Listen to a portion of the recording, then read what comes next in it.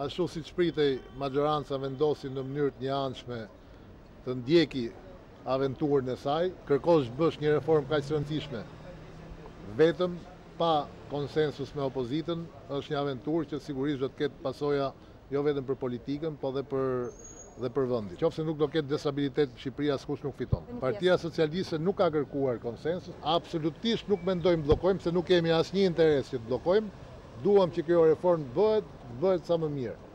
Ata që kanë synimin thjesht të sigurojnë zgjedhjet në tavolinë, do të bëjnë të tyren dhe sigurisht që ne nuk mund të pranojmë një situatë të tillë. Ne kërkuam zgjerimin e objektit, të hetohet çështja e trafikut, rritjes së trafikut, përfshi këtu dhe hetimin mbi akuzat që janë bërë tashmë publike, nëse është apo jo e implikuar infrastruktura e Forcave të Armatosura dhe më tej. Ne do të jemi pjesë. Është thjesht hetim për atë që ka nxjerrë informacionin, hetim për opozitën. Nuk kemi të bëjmë me mushkonjat siç talleshin herën tjetër në parlament dy krerët e maxhorancës.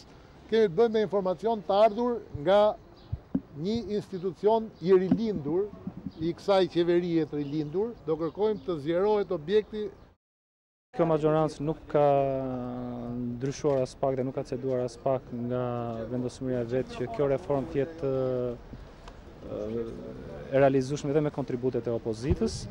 Jemi detyruar që të paraqesim këtë propozim për ndryshimin e numrit të anëtarësisë së këtij komisioni, me qëllim që ky komision të fillojë nga puna, nga pikëpamja teknike.